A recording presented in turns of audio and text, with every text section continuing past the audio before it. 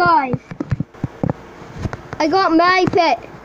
It's a cool app where you get your own little pet and you can control what it does. Get it on your Nook and your phone. Peace out, guys.